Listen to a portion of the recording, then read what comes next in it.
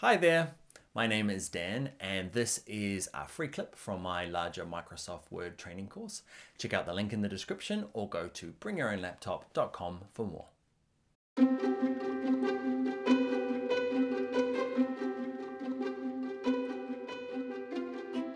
Hi there, in this video we're going to look at correcting your images, okay, making it look nicer, okay, fixing the brightness and contrast, and we're also going to do something like this where we kind of make it black and white, add our corporate color to it and fade it out, so it's kind of a nice big block image thing. All right, let's go and do that.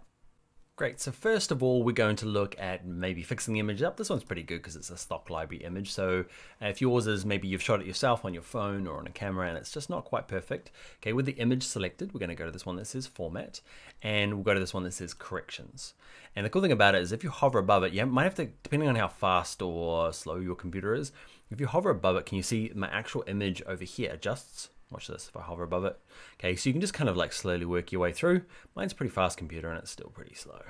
Okay, and you just decide whether you want this brighter or darker, okay? And there's this kind of like, yeah, nice spectrum that plays between contrast and brightness. Now, sharpen and soften. Okay, so you can soften it in the middle is like the doing nothing to it. Go this way, it gets a bit fuzzy. Might be cool as a background image. Okay, nice and blurred out. And you can sharpen it up as well. It gets a little bit ultra sharp, this one here. Cool. So those are the basic um, corrections. What I want to do is I want to actually play around with the color. So under color, I would like the saturation here. Okay, you can bump it up. You can lower the saturation, just making it brighter, and you can put it right down to 0%. That's what I want to do in terms of this black and white. Other color tones, okay, you can mess around whether you make it. This is you can see it says Kelvin there or K. That just depends on like if you shot this inside in an office, it's often going to be quite blue. So you'll want to bump up the Kelvin, okay, to something high that looks more like daylight. And if it's shot outside and maybe too bright, you want to lower it down a little bit, okay.